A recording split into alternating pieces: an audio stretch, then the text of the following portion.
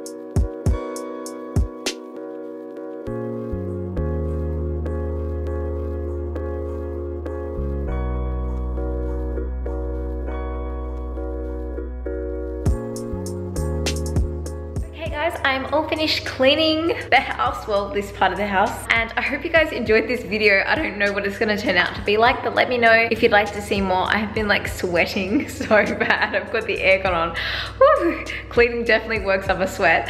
Um, but yeah, let me know if you wanna see more of these videos and I guess I can make more for you. Oh, hello.